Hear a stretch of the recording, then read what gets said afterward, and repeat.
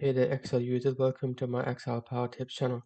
In this video, I'm going to show you how you can use Excel to create a dynamic variable month sales projection forecast, or you can choose no projection forecast simply by using a drop down and you can select the number of months. So here we've got uh, sales relating to five teams, team A to team E, and the sales are going from January to December. And the latest sale is for August. Uh, but the thing is, uh, the different teams they started their sales, they came into existence at different points of the year. For Team A and Team C, they started in January, and the other teams they started later in January.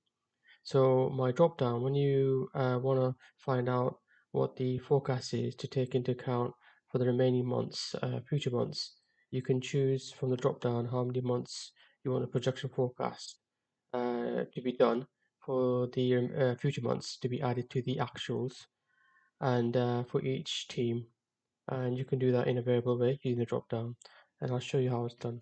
Before I discuss how to create the projection forecasting formula I'm going to take some time to show you how to create the year-to-date average which feeds into the forecasting formula and you can use either average if or a combination of sum count and that gives you both the same result. So here we have uh, sales going from January to December and we've got sales going to August.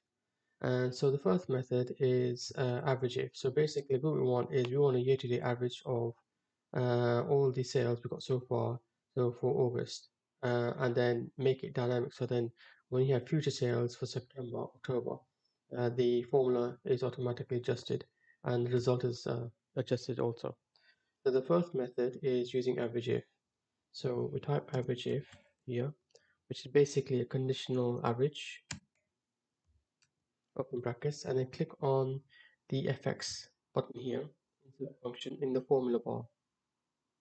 That opens up the excel helper for any excel formula that you type in and it shows you all of the components of the formula and all the arguments and what you need to put in. So the first argument is a range and to be more accurate that's the criteria range so the criteria range is going to be the sales all 12 months. So click on this button there. So we'll just select all of the months. Click on the button there. And the next part is the criteria, which feeds into the criteria range, and that's all cells that are which have values greater than equal to zero. Also, zero has to be taken into account because you could have um, sales are zero for a month, and that's also taken into account into the formula. So that's what I than equal to zero. Now the other thing is you normally put this in quotes uh, when you enter it in the formula in the cell, but when using the helper, uh, the helper puts in the quotes in for you just to save you time. So when I click away from it, you'll see that Excel puts the criteria in quotes. Now the average range doesn't necessarily have to be the same as the criteria range, but in this case it is. You can have it different. But for our needs, the average range is going to be different, uh, sorry, the same as the criteria range. Click on the button there. And again, we select all 12 months.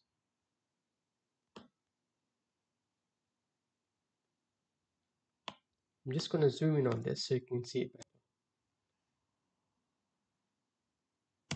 And then click on OK. So you can see it's 5,000. And uh, let's see if this works. Uh, let's highlight all the months for August and see what Excel comes up in the status bar at the bottom. Yeah, it's coming up with 5,000 as the average for the eight months, and that matches. The other method is using a combination of sum and COUNTIF for method two. So let's do the second part of method two, which is the COUNTIF. We do COUNTIF here, open brackets. The range is criteria range, so that's going to be the same as a 12 months of sales. And the criteria is greater than equal to zero just like with the average so this is basically showing all sales are greater than equal to zero. So coming with is coming with 8 ignore the currency but that's correct. If you look at the number focus on the numbers 8 if put a new uh, sale for September let's say we'll put 9,000 it's showing that there's 9 sales so we know that's correct. Let's undo that. So the other part of method 2 is now doing the sum. So what we're doing is we're putting in the count and then we're dividing into the sum of all sales for all 12 months. And then we just select the same range of sales.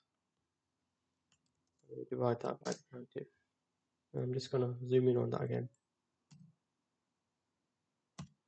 Click on the tick mark.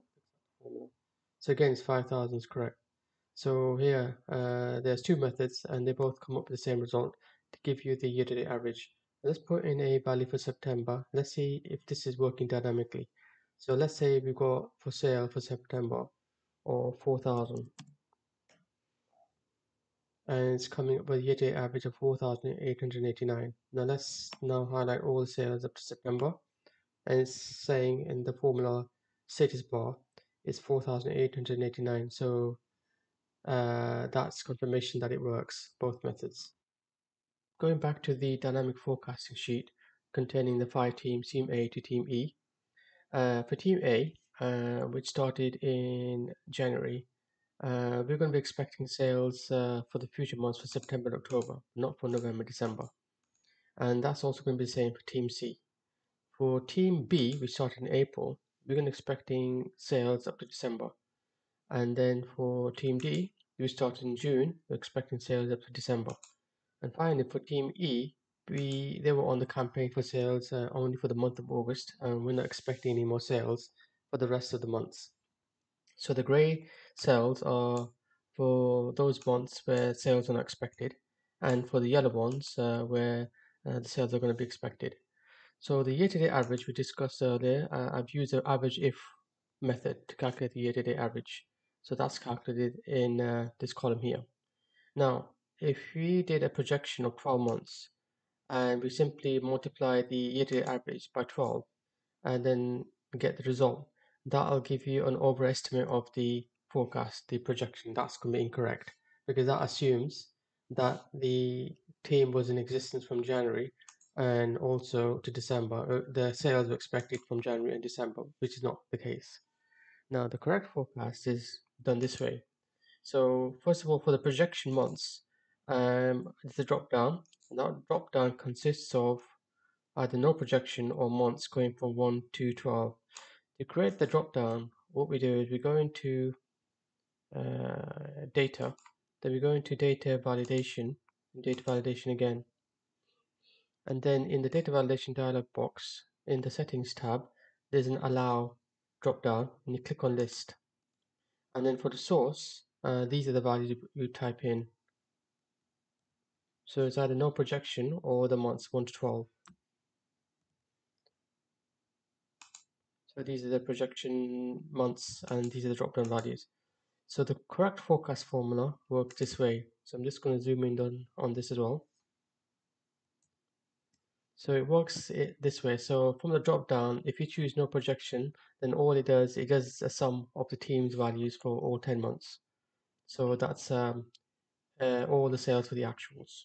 So it could be any sales, could be up to 12 months of sales and but if you choose a variable month then what that does it sums up the actual known values and then works out the average of those known values using the average if formula and then multiplies it by the variable months that you select from the drop down so let's say for team A um, we're going to be expecting sales uh, for future month for September October so from the drop down we select 2 The forecast is 48,000. Now notice how different it is to the incorrect forecast of 58,000. So that's nearly 10,000 down. And then for Team B, we're expecting sales for the remaining four months. So that's correct. And for Team C, uh, we're expecting only for two months. So so November, December are not going to be um, relevant. So it's just going to be September, October. So we just choose two from the drop down. and for Team D, that's four, that's correct. Now finally for Team E, they were on the campaign just for the month of August, so we're not expecting any more sales. So you can choose no projection in this case. And so as you can see, uh, the formula um, takes that into account and it's only counting uh, the one uh, for August. So notice the difference in the projection for 12 months, a fixed projection for 12 months, which is incorrect, about 343,000. And then compare that to the correct forecast 193,000 using the variable months projection forecast formula. And that's the correct forecast.